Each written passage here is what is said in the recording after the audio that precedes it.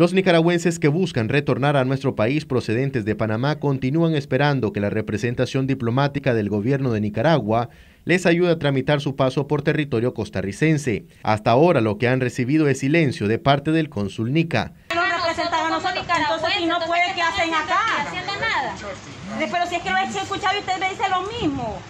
¿Por qué me dice que ustedes no pueden si ustedes son los que representan a los nicaragüenses? Entonces, si no los representan, no hagan nada y denle el trabajo a otra que en realidad lo haga, señor.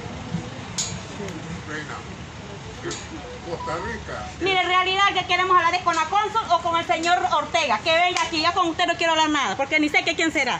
Aquí está la cónsul, no nos quiere dar la cara. No nos quiere dar la cara. Estamos en todo el derecho. No nos quiere dar la cara.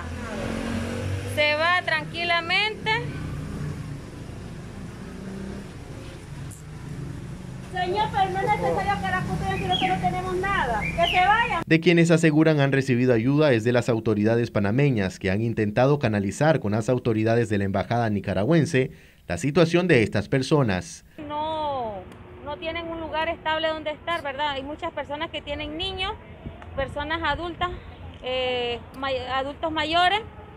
Eh, pues estamos hoy acá reunidos y no nos vamos a mover de acá esperando hasta que salga la cónsul y nos dé una respuesta. Si no nos atiende, aquí vamos a estar.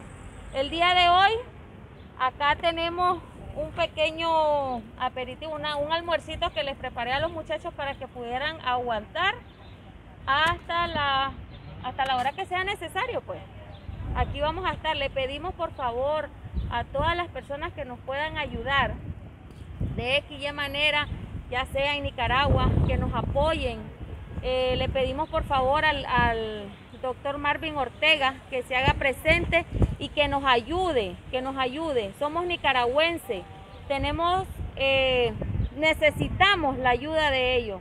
Si ellos no nos pueden ayudar, pues aquí vamos a estar hasta que nos den una respuesta positiva. Marcos Medina, Noticias 12.